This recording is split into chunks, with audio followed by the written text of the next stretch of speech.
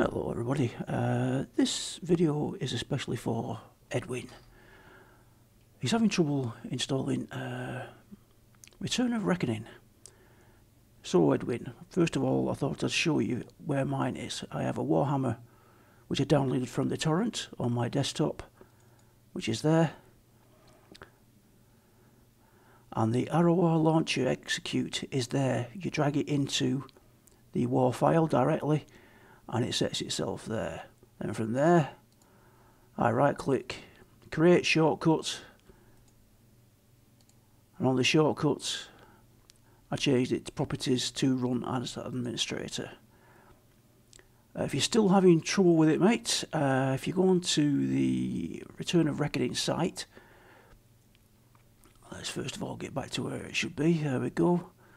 Off the main page, If we go to the forums, technical support, client download issues and troubleshooting, common launcher issues, check the FAQ, uh, FAQ, there we go, that one.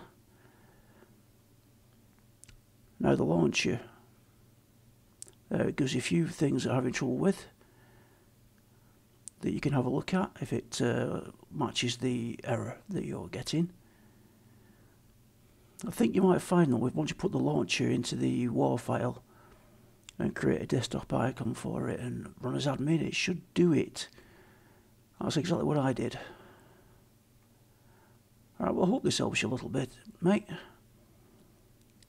If not, I recommend maybe going through these forums a little bit more in greater depth. The uh, technical support. Maybe there's something there. Alright mate. A very quick one for you. Hope it helps to see mine. Alright, see you later.